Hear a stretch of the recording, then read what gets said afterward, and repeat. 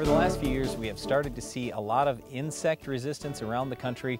So today we wanted to focus on what are the different insecticide sites of action. Well, one of the scary things in our industry is there aren't a lot of new sites of action coming, whether it's in insecticides or in herbicides. And so we want to make sure we can maintain the ones that we've got and keep them viable. In most of the Midwest, it's just three. The pyrethroids, then the organophosphates, and then this group four, the neonicotinoids. That's a lot of them. But there's also another subcategory, 4C, the new transform. That's a lot different than the other group fours, but they're all still group four. And the thing is, when we talk about those neonics, you know what else is in group four? Nicotine. Nicotine is really an insecticide. I mean, people talk all the time about smoking and how it can hurt you. Well, that's because you're pumping in insecticide into your body constantly every day. So obviously that's not a good thing. But the flip side of that is all right, how harmful is nicotine just out in the environment? Let's say I get a tiny bit of exposure to it during planting season a couple times a year. Is that really going to hurt anything? Probably not much. So they're actually quite safe compared to some of the old insecticides that are now banned. What I do get concerned about though is the post-emerge use. We love the neonics for seed treatments. We just don't like to see them used post-emerge. Well, the main thing is we're concerned about safety to bees. There's been a lot of negative press both in our country and around the world about bees bee safety and injury potentially from insecticides. I'll say this, it's been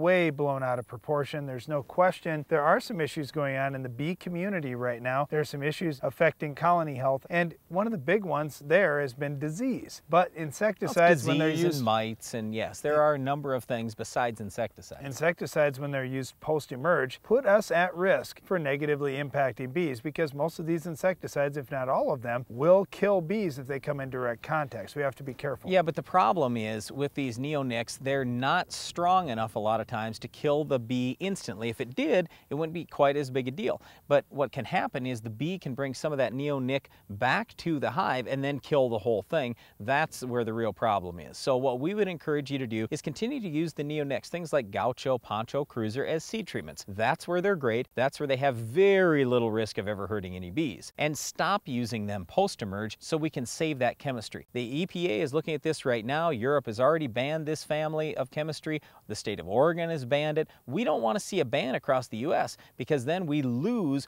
our only real insecticide choice in corn, in wheat, in soybeans for a seed treatment. It's the Neonic family. That's all we've got. We can't afford to give up Poncho, Gaucho, and Cruiser. Okay, let's get back to that foliar application. And here's where I see some issues because let's talk about wheat, for example. It seems like every time we go across our wheat crop, it's, well, we've got a herbicide that needs to get sprayed and we need to put on some fertilizer. And oh, by the way, we've got some bugs out there that need to get treated. Now I need to throw an insecticide too. And, and the same thing happens in soybeans and other crops where you say, okay, if I'm gonna add that insecticide in, it better be something that doesn't heat up my mix and make it burn my crop. And so the pyrethroids get used just over and over again because they're pretty easy to mix with just about anything out there. They're really inexpensive too. Yeah, and they don't seem to hurt the crop even when they're mixed in with some other products. But really, we've got to find some way to start rotating chemistry. That new transform that we talked about, that's real good on aphids, but it doesn't harm a lot of the beneficial insects, including lady beetles. So we just encourage you,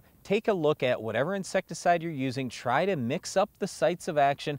And like Darren said at the beginning, we just don't see a lot of new chemistries coming out. Yeah, there's spinosad and there's Blackhawk and some of these things, but as long as you keep rotating sites of action as much as you can on your farm, hopefully resistance of insects isn't going to be an issue. Well, whether you have insecticide resistance or not, it's not going to make any difference when it comes to controlling our weed of the week. I'll tell you how to stop it on your farm coming up next.